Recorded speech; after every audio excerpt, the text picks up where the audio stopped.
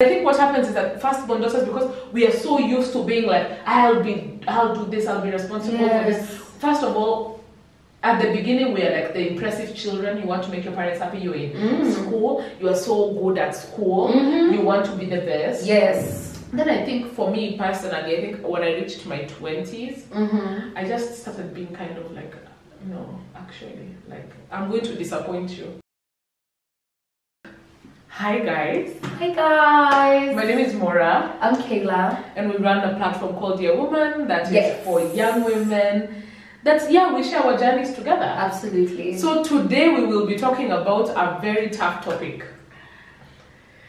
We are going to talk about the struggles of firstborn daughters in African families. okay, the bane of our existence. guys. Actually, the bane of our existence. Okay. I mean, you guys, I think we need to have our own therapy that the government it needs to cater for it. Will they? Will they? So both Kayla and I are firstborn daughters Yes. In our homes. Yes. Me, first of all, my situation is even different. okay. I'm a firstborn daughter slash proxima. That's that's that's that's me. Mora is I'm a firstborn daughter. I am um, a firstborn granddaughter. Mhm. I am my dad's assistant in the Yes, home. yes. I am my mom's helper in the house. Yes. A, lot of things. I am So my sister's things. financier. I don't know what to say. what do the mantle the mantle is heavy okay Yeah. the mantle is so heavy because i mean i come from a family of five children right Yeah. and my mom is a single mom so i don't even need to You don't even need to get Explain. into it. what that means that means that i am the other parents okay mm-hmm. i am my mom's support system I am her financial support system, emotional support system, mental, spiritual. Literally, I do the work of the head of the family. I cannot, I can, I can say that I'm the head of the family. No, I'm telling you. And you know, it's weird. I've always felt from a young age that I will just be the head of the family. Whatever family I would land in, I would just You'll be, the head. of the I. I always knew from a very young age. I felt the weight of the responsibility On settling in slowly. Okay. Yeah. So I think in this video we want to discuss. I think our challenges. Yeah, and actually, it's something that I've, I've, I've seen quite a bit on the internet. Yeah. Um, I just want to talk about like challenges of being like a firstborn daughter, Yes. and then at the end we just talk about like okay, so now what do we do? Tutadu, no, tutadu now to vile tumejua vile tumejua. How what do we do? Like as a firstborn daughter, what are the mm-hmm. things you can do Yes. to create more space for yourself? Yeah. Because let me tell you something. When you're a firstborn daughter, there is hardly any space for you. what You're the one to compromise. You need to adjust. Yeah. You need to be the responsible one, mm-hmm. the caring one, the one setting an example. Actually, you're not allowed to fail. You can't. That's uh, the, the, the, the, the overarching term, okay? As a firstborn daughter in an African family, it's almost like we are sons, right? We are sons, and actually, your parents are even frustrated because you are not a son. They're frustrated. They're like, Sasa wewe, my goodness, you know. And then especially in, because I think in our in our families, I have one brother who's small, but we are four girls, right? And also for Mora, there are 2 We're two girls, girls. right? So it's almost like you assume the mantle of the African son in an African home. You guys understand what we're talking about. So the things that ideally would be expected of a son in an African home, you're given that responsibility, and you're told here. I actually differ. Let me tell you what. Mhm. I actually think that firstborn sons don't even have the mantle of firstborn daughters. Let me give you a good example. Mhm. In my family, I have a very present, active father. Yes. And he's active even in our extended family. Mm. But that doesn't mean that he has his younger sister, who is the first daughter, has any less responsibility. Mm. She does not have any less responsibility. Mm. So his work is kind of like to generate the income, Yes. to to make the money. Yes. She she also has to make the money, but Mhm. she's the one who needs to get into the nuances. She needs to see, did my mom eat? Does she have the right clothes? Mhm. Do we have fruits? Yes. We have to go to the village to do this. Ooh. She needs to get into the nitty, nitty gritties. And then on top of that, still make money. And she has her own family. Ah. She has her own family. She has four children.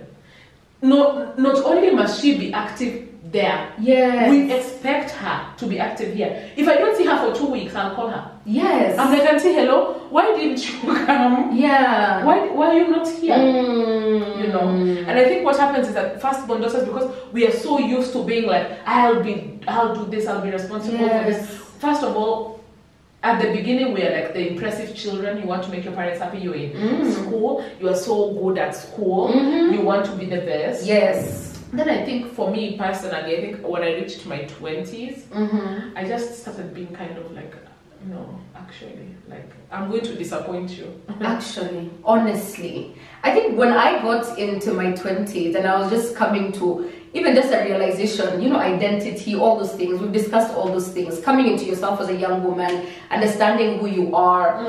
I saw how difficult my mom had it, you know, mm. because my mom is also, as I told you guys, she's a single mom, so she's she's the caregiver, she's also the provider, basically all those things that Mora has mentioned. And in her own family, in how this is not just in our nuclear family. In Yeah. the larger extended okari community okay? My mom is the one everybody looks up to right?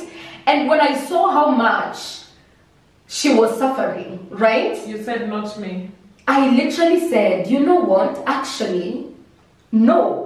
No. like this history will not repeat itself. Because even when i look at my own family because i come from a very matriarchal family right? So in my family women are the empowered ones right? Like men really don't have a say in my family because they don't have a position and because they just they have not done anything to deserve that position right so because of that in my family most most of the women are the ones that are making the decisions making the money taking the children to school. Mm-hmm. They're basically doing everything, Everything. right? Mm-hmm. But then there's a real danger in that right?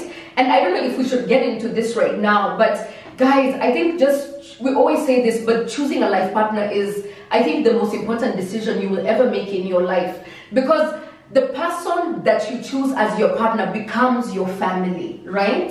Now, just tipping on that. Mm. You see all the roles you're used to playing in your house. yes What happens is that you find yourself, and I found myself Mm. subconsciously auditioning for partner roles yes with the same qualities. yes I am good at organizing at home. Yes. I can cook. I can Mhm. supervise Mhm. cleaning. Mhm. I, I am good as like if you tell me like you need me to go to the business and check on something, I can do that. Yes. So you find yourself you've transferred those qualities and now you're going with them to your new. Yeah Like, so history is now repeating repeating itself And what happens is that you end up not having the.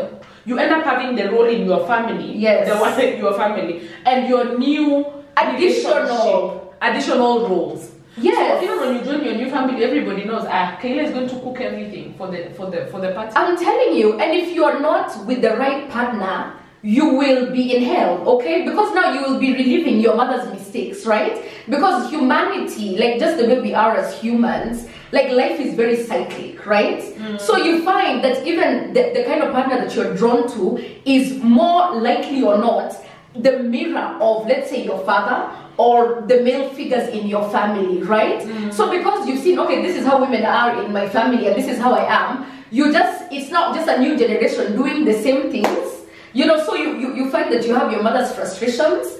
Even as a firstborn daughter, right? It's like, it's almost like you become your mom. It's crazy, guys. Me, I've seen it. And I'm like, me, I said, I will actually do whatever I see my mom doing, I will do the opposite of that. I'm like, what am I seeing my mom do? So, how that has manifested in my life, I've noticed I'm not tolerant. Like, me as a person, I am not a tolerant person. And I mean, sometimes that can come off as, I don't know, like prideful or Rude. or rude. Why did you say rude like that? It's the fact. yeah, it can come off as rude, but I just I'm not a tolerant person, right? So I'm just less accommodating of when, when it's like when people make mistakes. I'm not the kind of person who will be like, okay, you want another chance? Do you want another shot? Do you want yet another opportunity to fail me? I'm like, at the first sight of something that I feel like I cannot take, I'm like, goodbye. You have almost. I'm like, your case, actually, your case is closed. Next, can we have the next person? I agree with you, and I think okay. In the same vein, I think that for me, I have learned with time to be less agreeable. Yes. All right? Mm-hmm. So uh, it, it, it, it has been very hard for me to be like speaking up and back. Yes, Me, my- yes. My, family and my community is very patriarchal. Mm. So for you to be exchanging words with like a man, it's like, Yes. are you, are you Yes. mad? It's unheard of. That's a, a How do you mean? So this is when I actually don't agree with something, I'm like, no, Yes. not, no, that's not gonna work for me. Or I have learned even like to say no to like my relatives, Yes. to my sisters, Yes. to my mom, Yeah. to my dad, because Yes. the more I say yes, Mhm. yes becomes a word that's here in the throat. Before the, the person even finishes making the request, Mm. you're like, yes, yes. I'll and so you find yourself spread very thin. Absolutely. Where people are relying on you for everything. Yes. And I actually think that as younger, as older daughters, we see a lot of things and a lot of family dynamics mm-hmm. that our younger siblings don't get to witness. Yes. So then, not only are you you are you you're the protector. you're a protector You're a protector. Of everybody on all sides. So you hmm. protect your parents Of course. and then you protect your siblings.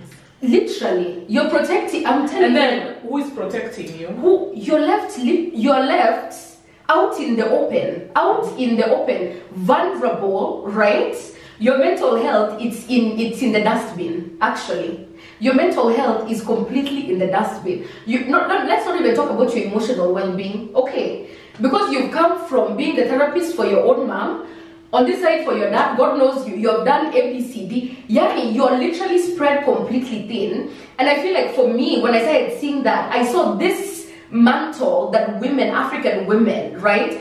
Even just as firstborn daughters or even our mothers, this mantle of sacrifice. I was like, I I refuse it. I'm like, I refuse. I reject it. I refuse to sacrifice myself for the sake of others. I'm like, if we are all meant to perish, my goodness, it's God who will protect us. I'm like, at the end of the day, this is what we are children of God. Okay, so if people are perishing, I'm like, what can I do? What can, because will I use the last shilling in my bank account to make sure that the family does not perish? No. You know, so I feel like sometimes, even as a firstborn daughter, you deal with a lot of guilt, right? It's uh-huh. almost like even when you're trying so hard to prioritize yourself, right?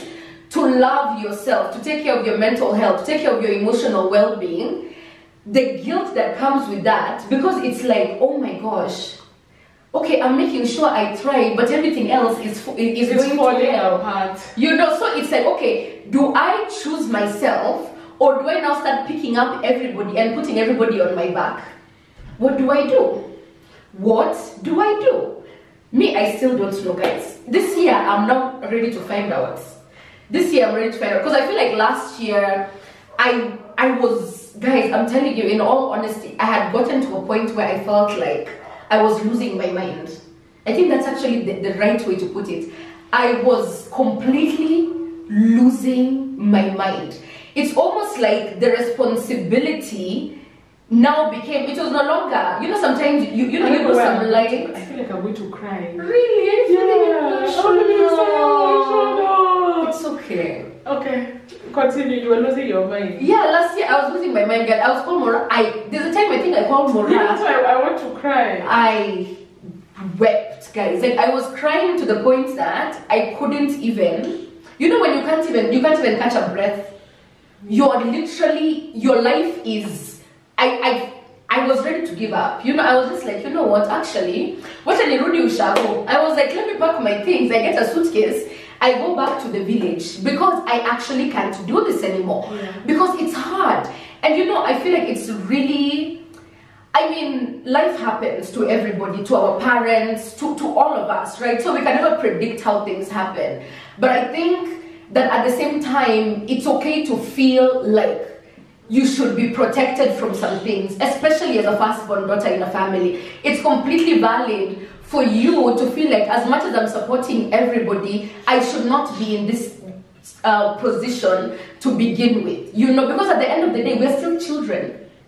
And you know the worst thing is that the judgment, like the standard, the, the, like your parents are very tough with you. Yes. You must do this, Mm. and if you don't do this, Yes. this means this, and I'm embarrassed because you didn't do this. I mean, the standards are They are on another level. High. They're on another they're like level. you have to do this, and Yeah. you know, it's very tough. So you then think, Okay, so if I say to this person Yes. Mm. and I disappoint them, yes. what does that mean? What does that mean? What does that say about myself? Yeah. Mm. And then there's also the guilt of they're my mom. Mm. It's my dad. And when, when they when they now Oh. start invoking biblical scriptures about honoring your parents, when they start doing that, I don't even have the answer yet. when they say, guys, we don't have the answer. This is actually at the moment, this is not what we are dealing with this year. This year, I think for me, is about finding the balance of giving and holding back. I need to find that balance. For when to say, okay, I can only give so much, but when I get to this point, like all of you figure it out like all of you figure figure figure yourselves out. Because i can only support you to this level without completely depleting myself depleting my resources depleting my, my my mental health my emotional well-being all those things that make you as a person that make you wholesome okay? All those things you need to find a balance because you will be spent you will be so I spent think, I think so. But I actually think like if you if you're in your home and maybe you have two parents, maybe Yes. the dynamic is a little different. yes You can and for me I think I have been able to rely on my mom more yeah and to like I think she's been able to say to to tell like yeah Mora no day. She's not gonna do that. Like yeah and she relies on me but not as much as like she used to. yes Because I think she knows the struggle, Mhm. and so she understands that as much as I'm, I need to be an active member of my family, Mhm. I need to make my own life. absolutely So if your mom is not already hooked in patriarchy's claws, yes because you can go to think you're relying on your mom, Yeah. and she's like, so you want to betray me, yeah you want to leave me, yes or you know, you can actually just go and speak to her and be like, okay, mom, you know what, actually, um, me personally, I want to do less, yes and I, you can only rely on me for one yes two and three. yes Past that, boundaries guys Don't oh rely my on me.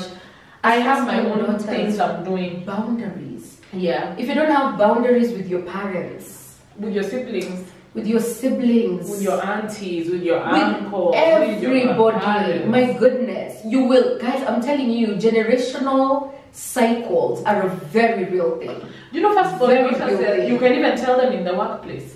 At Yeah. the workplace, I can identify. They overextend themselves. They're like, okay, I'll file those. I'll take those. I'll do that. Leave that to me, please. What? No, leave it. Leave it. Can I carry lunch for you guys tomorrow? Are you hungry? Mnataka kula nini niwapikie? It's so bad. It's crazy.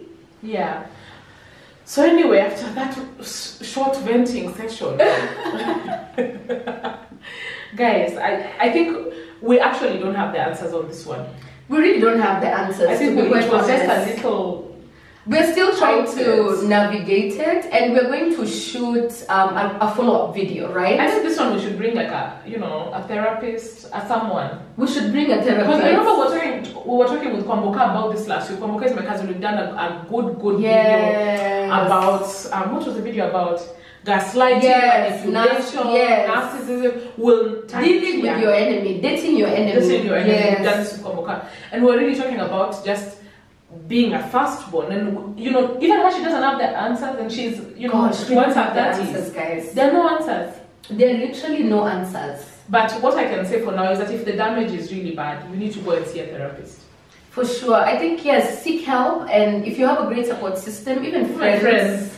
I think I'm actually so grateful. Last year, my friends really held me down during my difficult season. Yeah. Because I don't know what I would have done without you guys. Actually, I honestly so tough, don't know what I would have done without you guys. It What? hard.